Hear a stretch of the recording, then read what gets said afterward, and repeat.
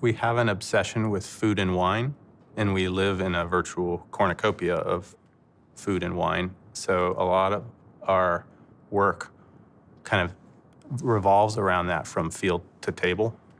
So we have, we're doing a brewery, we're doing three wineries, A couple restaurants. restaurants.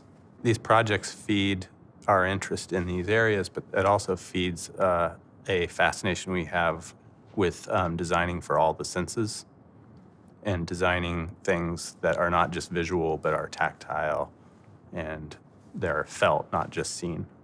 Looking into the future, our buildings will be accountable for their performance, but what they can't lose is what Dave and I have been trying to build in our studio, which is never forget the emotional and the psychological effects of your environment and how powerful that, that can be.